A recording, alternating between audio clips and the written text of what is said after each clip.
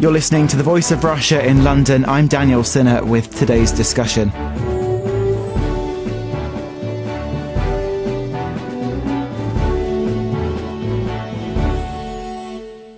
Business leaders have accused the British Chancellor George Osborne of failing to kickstart the economy by doing too little, too slowly.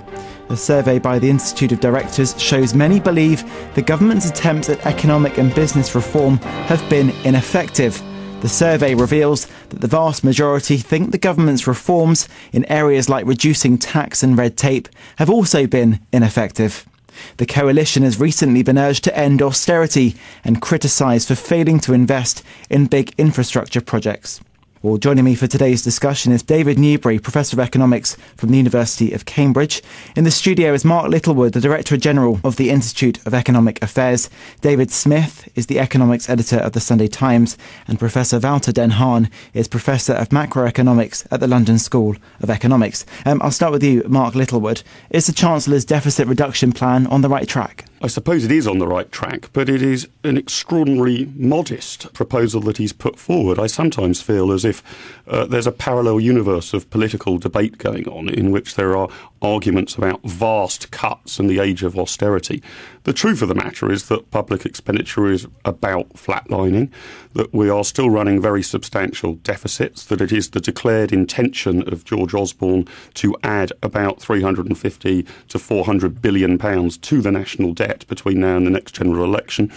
If this is austerity, I wouldn't want to see what largesse looks like. Um, so there is an awful lot uh, of heat and not much light about the uh, the discussion. We are effectively, uh, despite the protestations of uh, both the government and the opposition, are actually operating a substantial Keynesian fiscal stimulus package at the moment by spending considerably more money than we're bringing in, and that doesn't seem to be working. Professor David Newbery, Professor of Economics at the University of Cambridge. Yes, I would strongly disagree with that, and I think it highlights the problem we have with public accounting.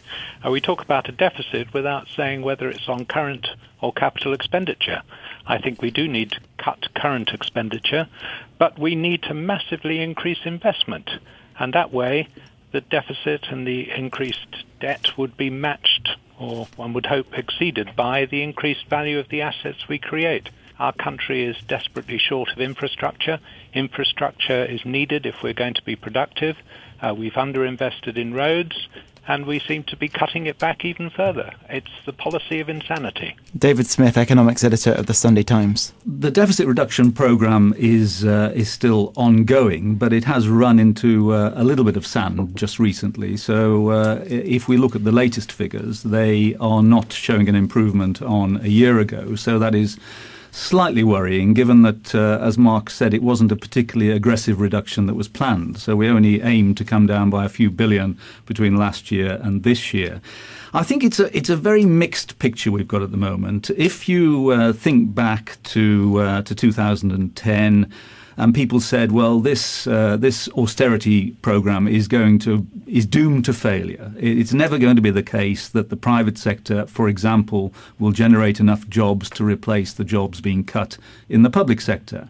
Well, in fact, that is wrong because what has happened is that we've seen a big increase in private sector employment, which has more than offset the uh, reduction in public sector jobs. So that part of it is, I think, uh, going along fine. I do have some sympathy with Professor Newbery's point, which is that too much of the emphasis in terms of trying to control public spending has been on the capital expenditure cuts, which uh, the coalition government inherited from, from Labour. Labour intended these big capital spending cuts, and current spending, as Mark says, is increasing, is still inque- increasing quite rapidly. So I think the balance of the fiscal reduction programme is quite badly wrong. Professor Wouter den Haan from uh, the London School of Economics.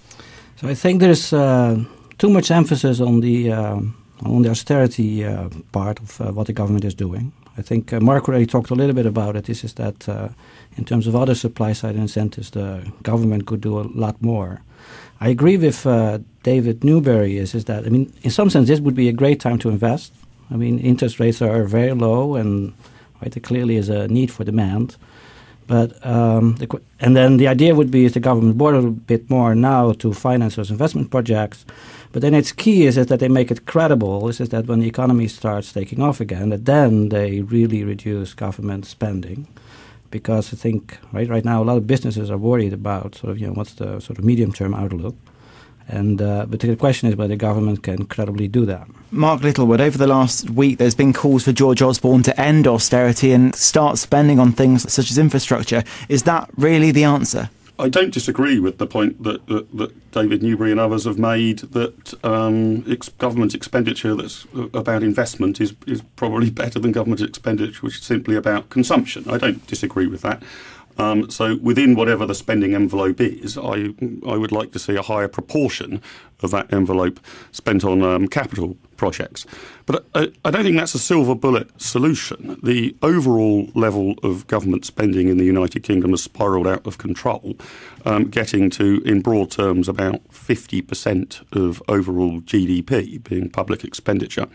Uh, by way of comparison, uh, generally in the fastest growing, most successful economies in the world, you'll see that the public sector accounts for about 25% of GDP and in the former Soviet Union, it was reckoned to account for about 70% of GDP. So we're slightly closer to the former Soviet Union than we are to the fastest growing countries on the planet in terms of our overall share. There is an important argument about what needs to be done within that envelope, and more investment would be a good plan, but the, it's got to be got under control, and I think fast and rapidly and much more aggressively than the government is actually aiming to do, which is a, an intention to cut by, I think, somewhere between half and 1% per annum. Um, there's a language problem here as well. The, the, I think that the uh, the government and George Osborne and others have allowed uh, a debate to emerge that the choice is between austerity and growth. Uh, and I don't think that is the choice at all. We, we need to start rapidly moving towards living within our means. But there are a whole range of other things. So you referred to the survey at the start on the supply side that the government could be doing and are basically ducking, which I think would strongly encourage growth over the medium term. But the efforts at deregulating, employment law reform, and the like have been somewhat parlous to date. Let's bring in Professor David Newbery here. The language that we've been hearing over the past week is that the Chancellor is on the wrong way. We should be promoting growth by investing public money into infrastructure. Do you agree that that is the way forward to start getting growth and ending the age of austerity? Yes, but let me qualify it. I don't think it's big projects, and I think the idea that we're going to save the nation by building High Speed 2 is completely bonkers what we need are projects that are profitable, not projects that are big. And the Eddington report on transport infrastructure found any number of projects with a very, very high payoff to the to the economy. So sensible investment, not rhetorical gestures towards things like the Severn Barrage. You, you mentioned the Eddington report. What, what would you say is the best project out of that that would be ones that we could invest in? Well, there are two um, that stand out. Uh, one of them is exactly what the rhetorical uh, position of the government is, which is to stimulate private investment, and that is to get the third runway at Heathrow, which would be entirely privately financed and would relax the constraints on trade with our rapidly growing trade partners. And the other are the road projects, any number of which, not particularly big ones, but all around the country there are constraints, congestion on the road network. We don't need more rail at the moment. We need more roads. That's where the congestion is. David Smith, more roads rather than more rail? Well, uh, quite possibly. I mean, uh, my reading of uh, what has happened recently was that there has been no U turn among these economists. Professor Newbery will uh, correct me if I'm wrong, but uh, what they were saying back then was that you needed to uh, attack current expenditure, as, Ma- as Mark says, but that didn't imply that you had to slash infrastructure spending. And, and as I, say, I said earlier, it was a mistake, I think, for the government to do that. But um, I think you know there are lessons of history in what we can do in this, and I, I quite liked uh, in that uh, you know in that response to the original letter what Professor Newbery was saying um, uh, in the New Statesman when he was asked by them, and, and one of the things he said was that if you look back. Uh, to the 1930s. One of the engines of economic growth was house building, strong increase in house building during that uh, period. And uh, uh, uh, for him, you know, one of the ways you could bring that about was to ease the planning rules. And if you allow the builders to build on some of the not very attractive green belt land around cities, you'll get a lot more house building going. You need to tackle the finance side of it as well. But that is a, a no cost, no fiscal stimulus way of getting economic activity going. And that's one I would uh, uh agree with wholeheartedly.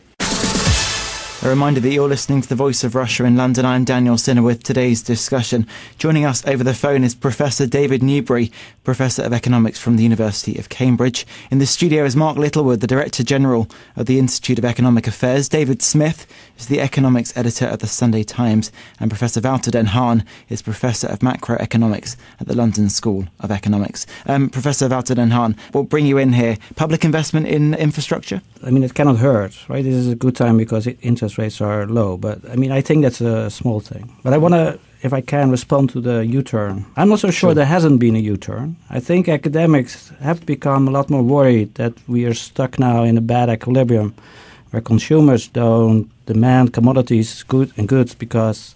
Uh, they're worried about becoming unemployed, and firms don't hire because there's no demand for their products, right? And so, in some academics, they say is that well, we have to get out of that bad equilibrium, and then maybe the government can kickstart that by just spending a lot. Right, so I've I've seen right over the last few years several of my colleagues sort of changing their idea about you know whether we are in that kind of bad equilibrium. It could very well be that right personally I think that could be that we are in such a bad equilibrium. I'm not so sure is that the government can get us out of it, but but but I mean on that as David rightly points uh, uh, points out, we shouldn't be particularly concerned about firms not hiring. Yes, I mean actual consumer demand on the high street and the likes is pretty flat. The the GDP figures, insofar as we believe them, are very flat. But one point of considerable encouragement has been that the private sector has stepped up in terms of employment. I mean that is going very firmly in the right direction. and those who were strongly opposed to any sort of public sector cuts doubted that the private sector would be able to do that. And even in this relatively non-benign climate, the results from the private sector in terms of employment look encouraging, not heroic, but encouraging. Uh, Professor, do you want to come well, but the, I mean, the unemployment rate is still high, and sort of the output that's generated by sort of the jobs is low because you know GDP is still flat. And there was a survey by this Institute of Directors, and there's really scary numbers that they said is that 40% of those surveyed they postponed an investment or an employment decision because of you know the uncertainty facing the economy. I mean, that, those are you know terrible numbers. So I really don't think you can say that the employment situation is good.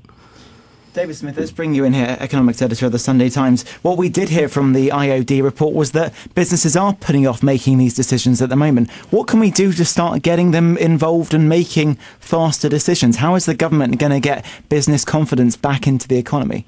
Well, it, it's tough, and I, I think um, I, I, am very sceptical about the uh, the GDP figures. I mean, I simply don't believe that the economy is smaller than it was two years ago, which is what they suggest. Um, and I think there will be substantial revisions. But what we are seeing, of course, is the danger of the publication of gloomy figures like that, in the sense that businesses think things are bad, th- uh, businesses think there's no light at the end of the tunnel.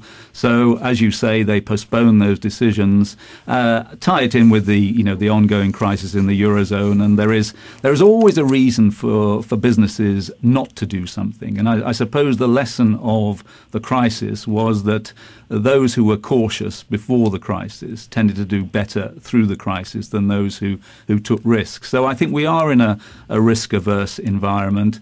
I think you know getting those animal spirits going is is tough in this in this situation. I don't think it is suddenly going to be lifted by the government announcing you know three or four infrastructure projects. I think it could be lifted in the sense of uh, you know people feeling businesses feeling more confident by some of Mark's supply side reforms, you know deregulation and so on. But we should be you know, we should know that those don't affect the economy straight away. I mean, you know, supply side reforms, take years to, to feed through. Their, their main effect in the short term is on confidence. So I think that is the kind of thing that maybe the government should be thinking of at the moment. Professor David Newbery from the University of Cambridge, what are your thoughts about uh, David Smith's uh, remarks just now?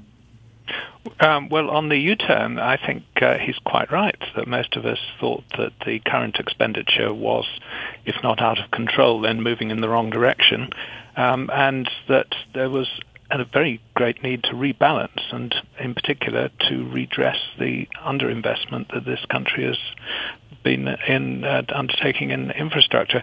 I, I, also think, I mean, if you look at the one remnant of Soviet planning that this country has retained from 1947, it's the Town and Country Planning Act. We have agricultural land on the edge of towns which is worth £6,000 an acre. If it gets planning permission, it's worth £600,000 an acre. And that's an insane way of trying to um, stimulate the economy, is to hold back the one thing for which we desperately need more houses. David Smith? Yeah, absolutely. I mean, and the numbers on that are, are you know, completely and utterly convincing. We're building roughly 100,000 homes a year at the moment. We need at least 250,000 a year. There is pent up demand there. The problem is is a on the credit side, on the on the uh, supply of finance side, but b on giving the builders a new incentive. And I, I I've always thought that um, you know we we make, you know, we, we regard the green belt as somehow sacred. A lot of the green belt is, is very unattractive scrubland on the edge of cities, which could be freed up. It happened, it worked in the 1930s, enormous house building boom then. It was the main way we got out of the, uh, uh, the crisis, the depression at the start of the decade. It could work again. I think it just needs a bit more imagination and a bit more determination by the politicians to take on vested interests, which I think my big criticism of this government was apart from a few, you know, unfortunate errors in the budget, which were errors like, you know, Cornish pasties and things like that in the main, they are not prepared to take on vested interests. It's quite a timid government, I think. Uh, uh, you know, it, on the face of it, it's got a bold austerity plan, but it's doing it quite timidly. And I think that is the that is the main criticism I would have of them. Professor Wouter den Haan, can we really build our, our way out of this recession? The government can do a lot more, sort of on the supply side, and sort of you know the housing is just one part of it. But I really think is that that's where we should, you know, think about the solution, not about you know more or less austerity. I think the important thing is really is, is that think about deregulation, labor market uh, reform, and the housing could very well be part of that. Don't we also have to look at consumers, though? You know, the government tried to encourage banks to lend to small businesses and lend to consumers for mortgages. It's all very well them pumping money into house building, but what if they can't get banks to lend for people to buy the houses? Uh, yeah, so they're trying very hard now to uh, right to motivate banks to uh, to do the the lending. Uh, but yeah, I mean, so the, the confidence part is a big part, and in some sense, is that you, know, you, you got to have a not a timid plan. You got to do it together, right? Because if people have confidence, then banks will start lending too, and if they don't have confidence, then banks will not start lending. So the question is, you know, how can you sort of best change that? You know, you start with some investment plans, and then some housing plans, and then you work on the you know supply side, the deregulation, and the uh, the labor market reform. I think uh, you know a lot could happen. Mark Littlewood. I think that the, the issue here is obviously after you know a period of gloomy economic times in discussions such as these, there's a there's a danger of, of, hoping that any of the four of us can come up with a single magic bullet and sort of say if we just did this, then you know growth would be four percent per annum, unemployment would be solved, you know credit would be eased. The truth of the matter is that there's an absolute plethora of things that, in my view, um, can be done and should be done. So easing planning laws, I mean, I think a very sensible supply side reform. It, it's not going to magically, you know, render the economy considerably more productive overnight, but it will have an effect. The government's tended to back away from it for vested interest reasons, despite the fact that only 10% of England is developed, and a good proportion of that is actually people's back gardens. So, uh, I mean, 40% of London is green space, for crying out loud. We, we, we are almost a bit like in a kind of agrarian utopia rather than a properly built up modern economy. But the, there are a hundred things that need to be tried. I mean, ju- just this weekend there was an argument about Sunday trading um, laws. You know, should we now, after the Olympics experiment, actually allow bigger shops to stay open for more than six hours on a Sunday? Now, again, uh, liberalising those laws will not suddenly kickstart the economy, But it does seem to me pretty extraordinary that if we want to create more employment hours in this country, that we potentially have a law that makes it a criminal offence to sell bread and butter in a supermarket at nine o'clock on a Sunday. And that, so there's a hundred or so things that need to be gone through here. Uh, David's quite right that, that the government seems to sort of bulk at, at, at 95 of them and then water down the other five that, it exact, that it's willing to pursue. And I'm afraid that means that the march out of a difficult economic time, uh, whether it's a recession or not, I think is still be, to be determined, is going to be an awful lot slower. A reminder that you're listening to the Voice of Russia in London. I'm Daniel Cinna with today's discussion. Joining us over the phone is Professor David Newbery, Professor of Economics from the University of Cambridge. In the studio is Mark Littlewood, the Director General of the Institute of Economic Affairs. David Smith is the Economics Editor of the Sunday Times. And Professor Wouter den Haan is Professor of Macroeconomics at the London School of Economics. Um, David Smith, we'll go back to you, Economics Editor of the Sunday Times. One of the um, interesting things, I mean, just going back to this issue of, if you like, the damage that the, uh, the, the financial crisis did to us. And I think this is one of those areas where success, successive governments, because this started, of course, under the Labour government and has continued under the coalition, have just taken too long to grasp a basic problem. And one of those basic problems is the uh, is the supply of credit into the economy, both for small and medium-sized firms and for people who want to buy homes. So, you know, the first half of 2007, just before the crisis, two thirds of mortgages, two thirds of new mortgages in the UK came from the so called wholesale markets, from the money markets. One third came as a result of savers putting their deposits in banks and building societies. Now, we lost that two thirds. There should have been a response to that almost immediately to say, how are we going to maintain some kind of mortgage market through this crisis? You know, what can we do as the Treasury and the Bank of England to do that? We're only now seeing the response to that through this so called funding for lending scheme. So that may improve things, but it is very late. However, uh, one thing I would say is that um, you write off the British com- consumer at your peril. You know, so the British consumer has had a terrible time. You know, they've uh, they can't get mortgages. They've seen an unexpectedly high rate of inflation, which has squeezed their real incomes very hard. Earnings have been going up by two percent. Inflation's been five percent. So it it's not surprising that they they haven't been spending. But just lately, they've started to spend again. So retail sales volumes. You know, inflation adjusted retail sales are up 3% on a year ago. I think consumers will carry on spending as long as inflation stays low and hopefully falls further. You get some recovery in those real incomes, and the consumer belatedly plays a little bit of a part in this recovery, which he, he hasn't done so far. So I think that is one positive thing we, that may happen over the coming months. Professor David Newbery, some quite positive comments in terms of consumers from David Smith. Would you agree it's going to be a positive outlook for consumers? Well, I'm not so sure about that because I don't have my ear to the ground as closely as David does. And I agree there are probably a hundred things that should be done, but there are some things that the government should just stop doing and cutting investment and cutting research budgets and things like that.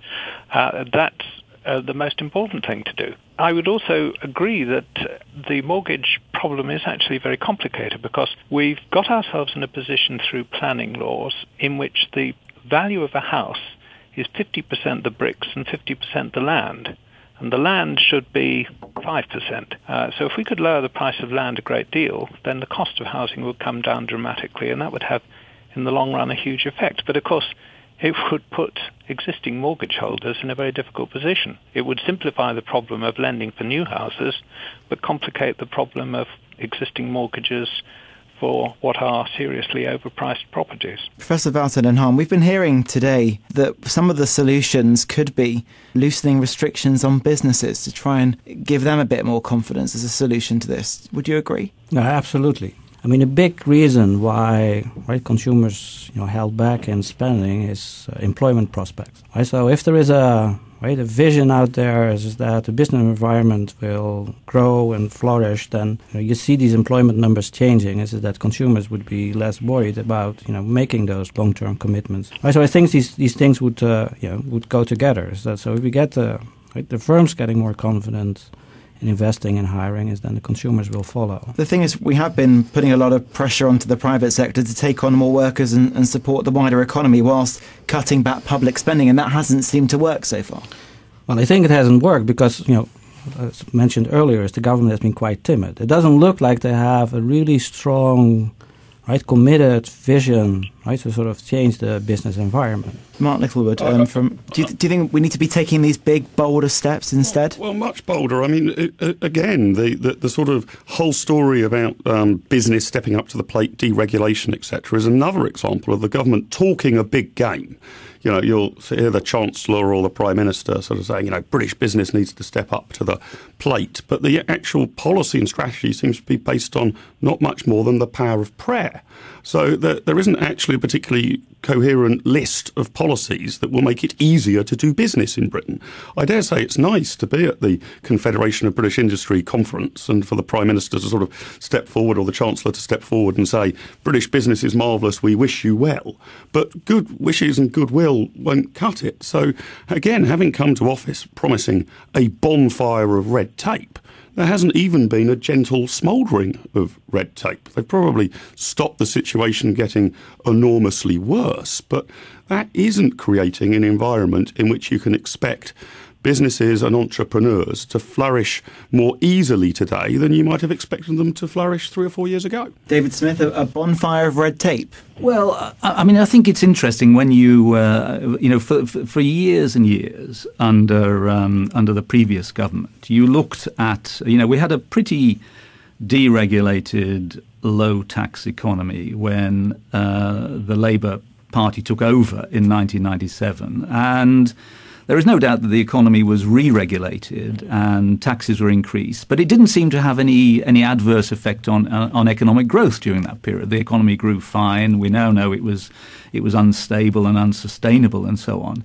Now, so we're not talking about, you know, some sort of wild west economy where you're reducing regulations to a level they've never been to before. We're just talking about, you know, unwinding some of that re-regulation that occurred over over 13 years. And for me, you know, the um, the, you know, the most disturbing thing is when you look at Britain in comparison with other economies that should be in a similar state. So, for example, Sweden is doing very well at the moment, grow, has been growing very rapidly, uh, in a similar situation to the UK. It's not part of the Eurozone and so on, but is doing much better. But Germany, you know, Germany, you, one thing you could take for granted was that German unemployment would be higher than the UK. It was a uh, it was a sclerotic over restricted, over regulated economy. You look at Germany now, doing very well. Uh, these mini jobs that the Germans have got seem to be very successful, and I know the government is thinking of looking at those. But, you know, there are good ideas out there, and some of them are in place and being adopted by other countries. And frankly, you know, if you'd said to me 10 years ago that we'd be in a situation where the German labour market was a lot more uh, effective than the UK labour market, I would just would not have believed you. And, it, and, at the moment, it is. Professor David Newbery, we heard about this bonfire of red tape from Mark Littlewood. The IOD saying today that the cost and complexity of doing business in the UK is just far too hard, and the government needs to take some bold steps. Do you think that's the solution? All governments claim they're going to deal with red tape. No government succeed in doing very much. And I would go back and say, well, what is it that causes growth? And it's quite simple. It's investment. Well, unfortunately, we're out of time. Thank you to all of my guests. Joining us over the phone was Professor David Newbery, Professor of Economics from the University of Cambridge. In the studio is Mark Littlewood, the Director General of the Institute of Economic Affairs, David Smith, the Economics Editor of the Sunday Times, and Professor Wouter den Haan is Professor of Macroeconomics at the London School of Economics.